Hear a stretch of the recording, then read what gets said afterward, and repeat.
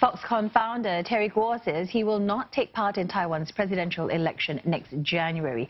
The news came as a surprise, as the 68-year-old tycoon was widely anticipated to run as an independent. Our Taiwan correspondent Victoria Jen reports.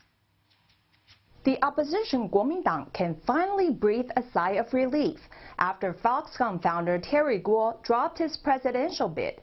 The island's richest man had been wooing support from the public and politicians since he lost KMT's presidential primary in July.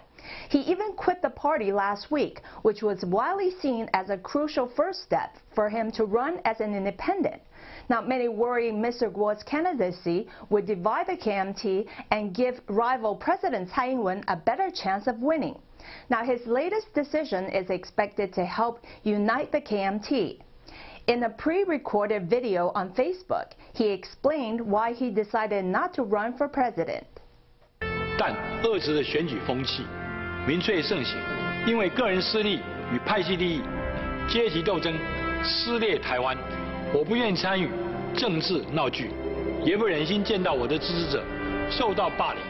There are reports speculating that the real reason was because Mr. Gou couldn't convince Taipei City Mayor Ko Wen-je to run on the same ticket.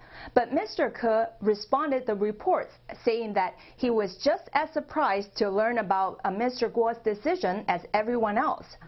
There are also reports saying that Mr. Gou is not completely out of the game, as he could still run as a candidate for one of Taiwan's established political parties in November.